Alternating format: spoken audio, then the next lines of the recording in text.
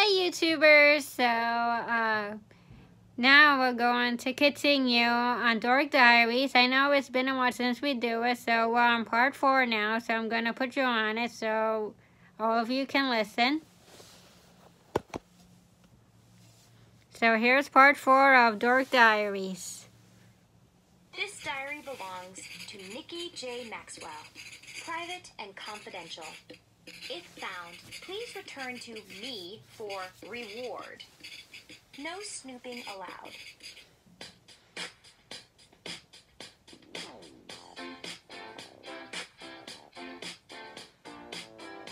Rachel Renee Russell presents the Dork Diaries podcast, brought to you by Simon & Schuster Audio.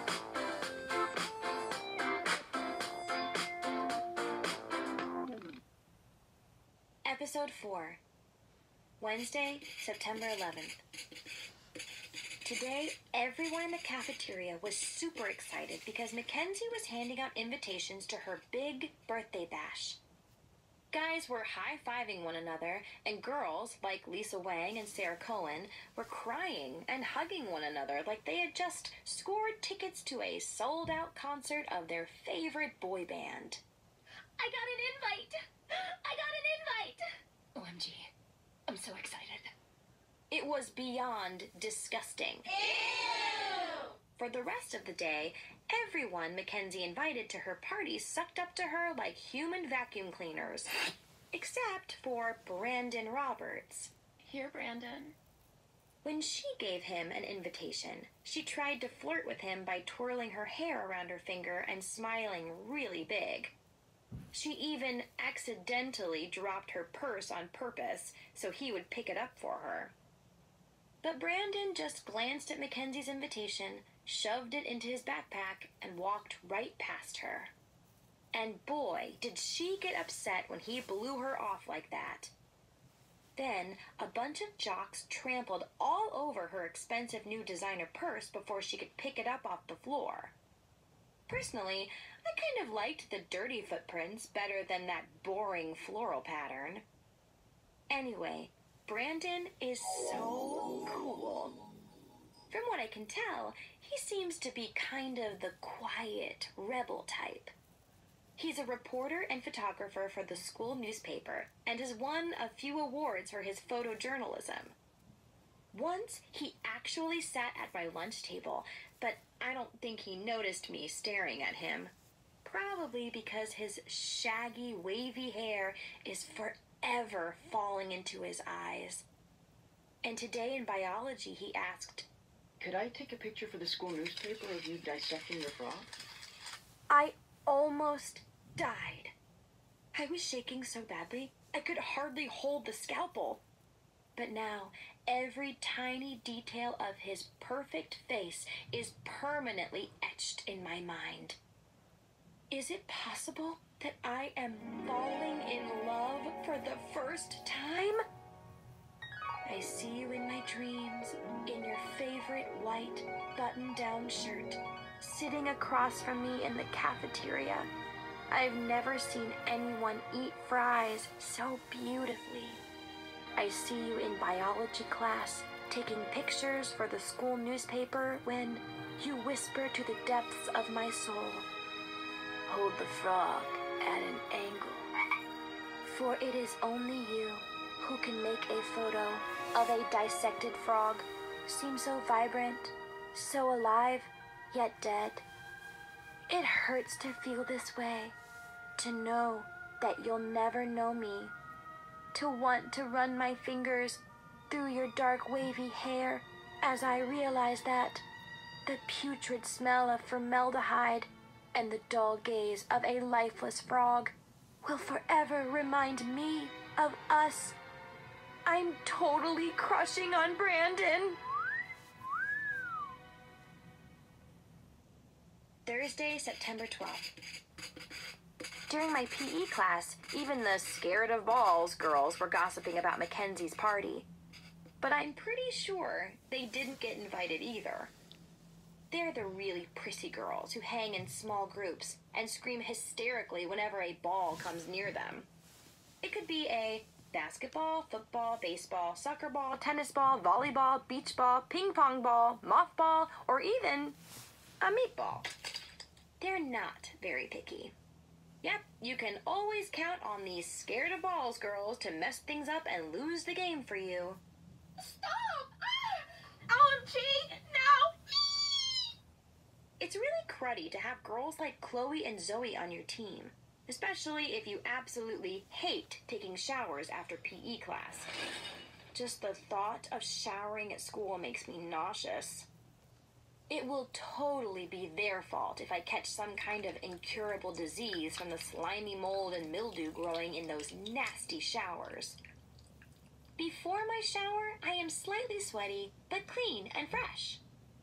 After my shower, I am covered in stink, mildew, and slime.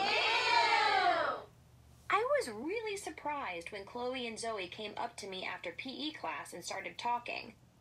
Of course, I pretended like I was not super angry at them for running away from the ball and making me filthy from taking that nasty shower. Hi, Nikki.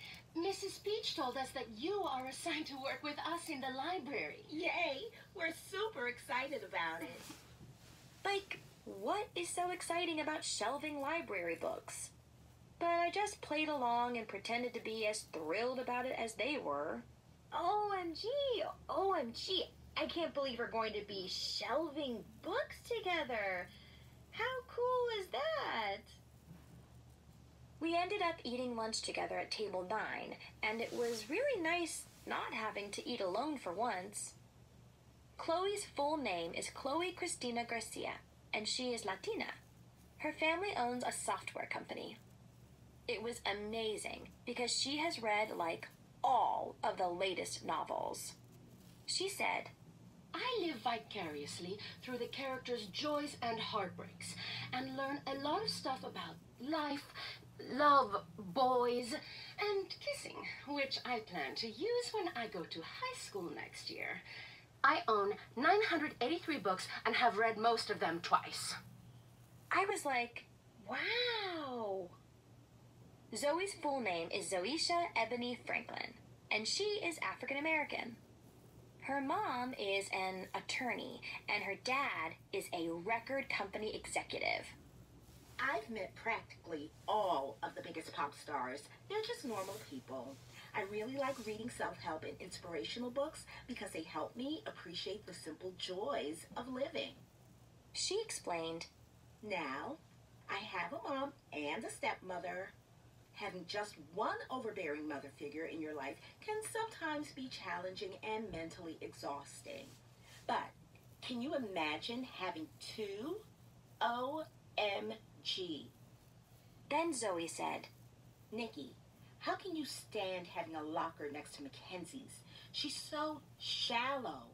She rubs lipstick on her forehead to make up her mind, and being super conceited can sometimes develop into a narcissistic personality disorder.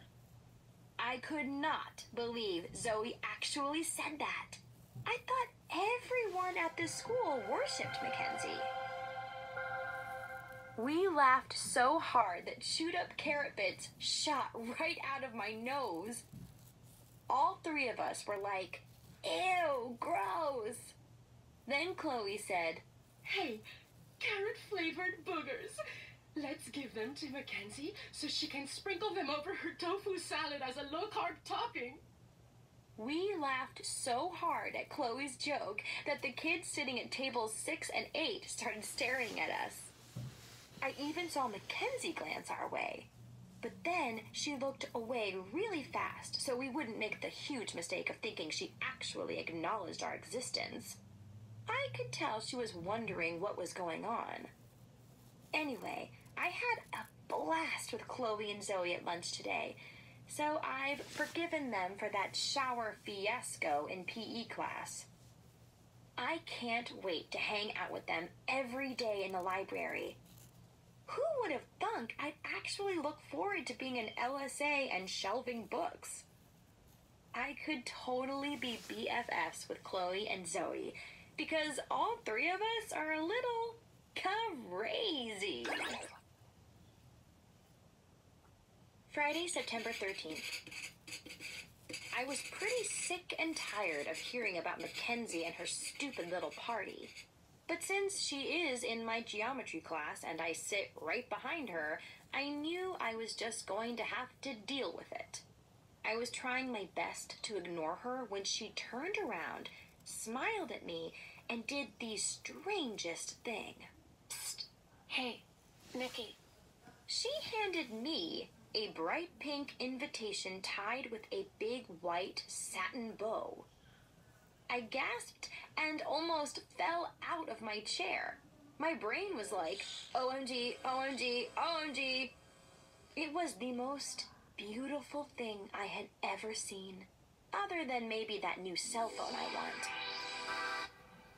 Who would have thought that I would get an invitation to the party of the year?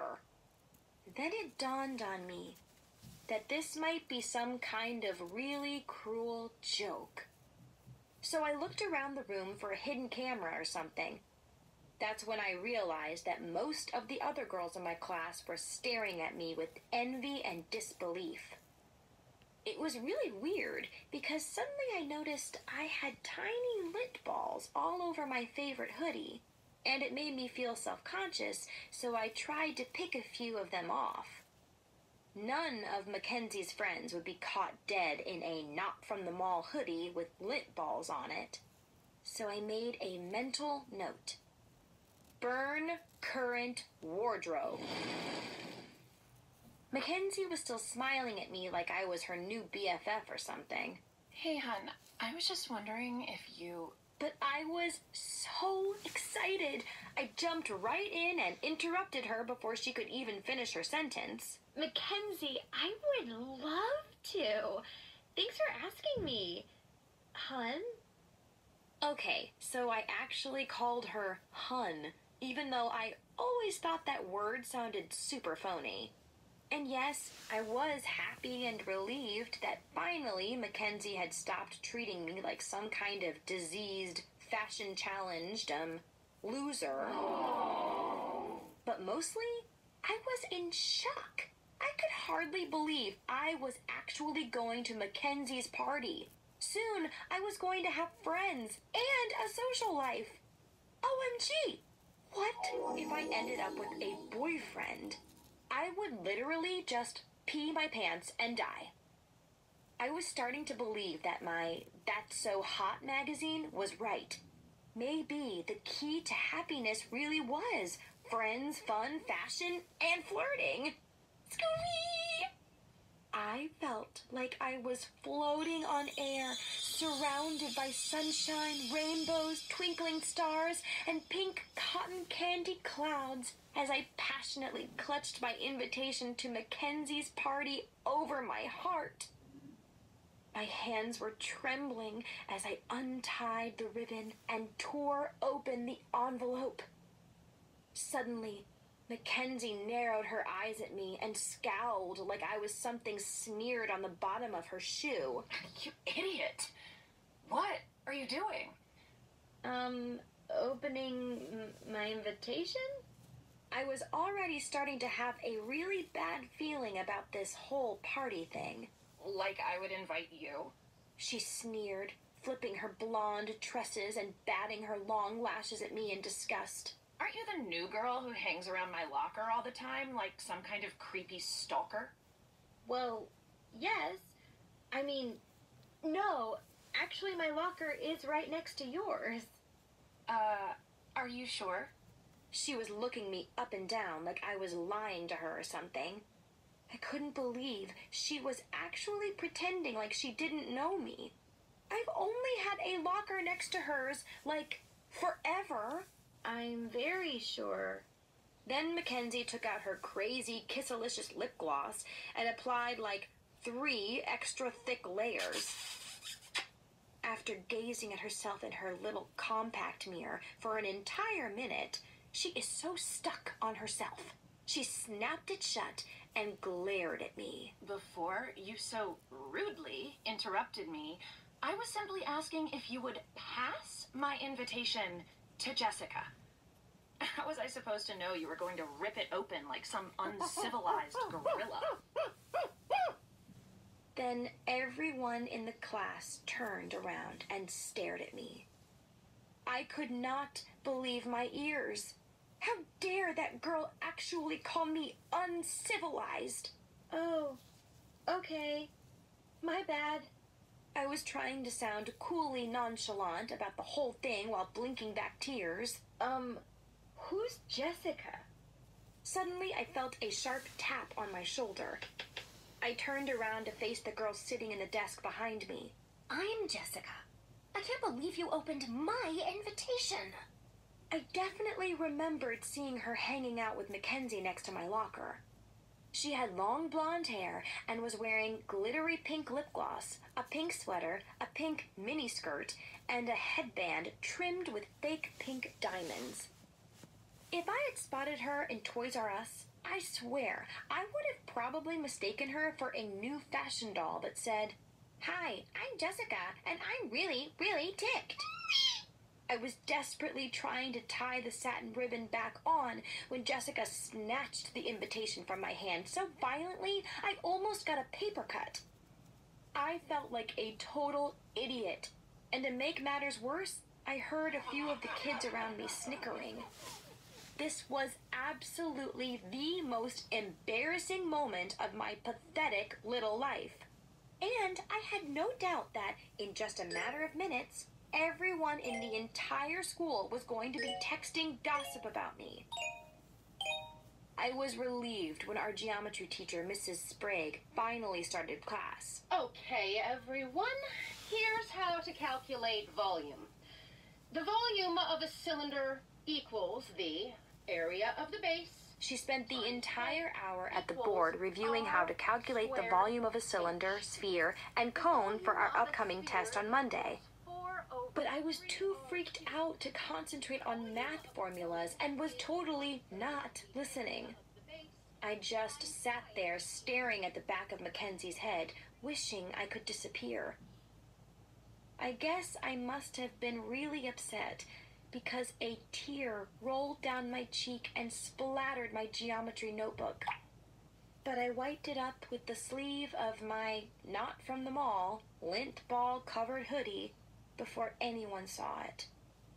Even though I was totally bummed about all the drama over the invitation, I really wasn't that mad at Mackenzie. I'm such a loser. If I was having a party, I wouldn't invite myself either. Saturday, September 14th. I've had the most horrible week ever. Why? Because Mackenzie has totally trashed my life. One, she totally ridiculed me with her cruel fashion commentary. Two, she ruined my chances in the avant garde art competition. Three, she dissed me by not inviting me to her party. Four, she embarrassed me by calling me an uncivilized gorilla. Five, she publicly humiliated me by giving me an invitation and then uninviting me.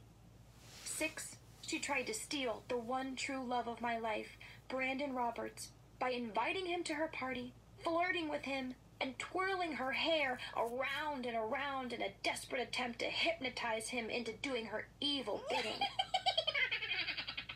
I planned to spend my entire weekend just sitting on my bed in my pajamas, staring at the wall and sulking.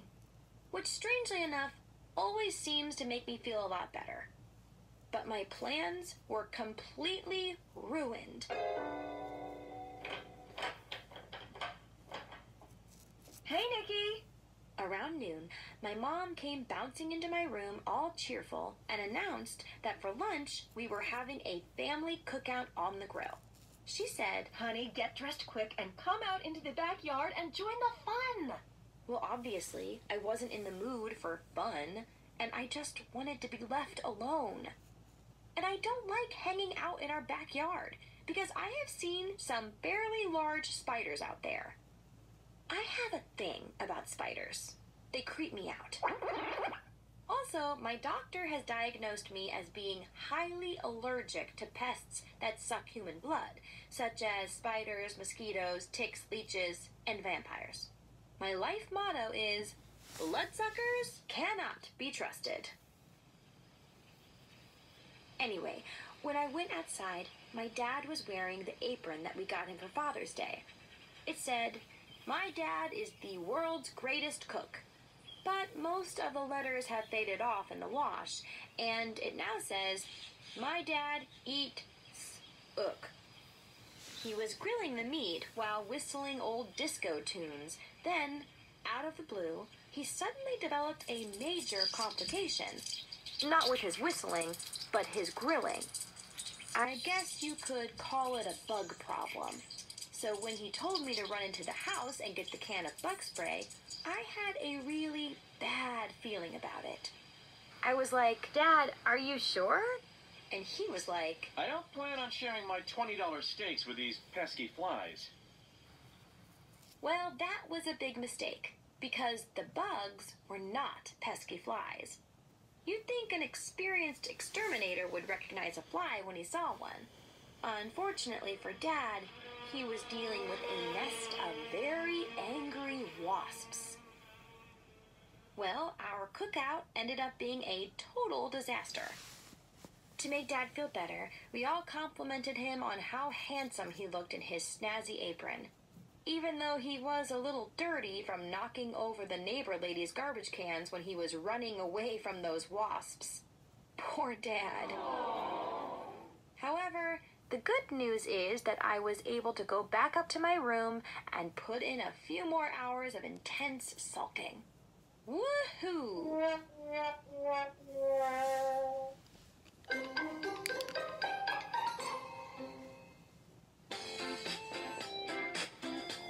Hi, this is Nikki.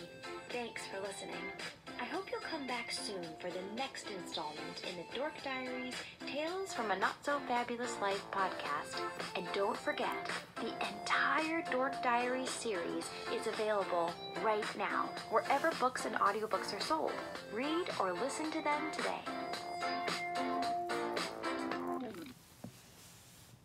This. Okay, guys. Um, that's um part four of Dork Diaries. Um, tales from a not so fabulous life. So I see you in part five.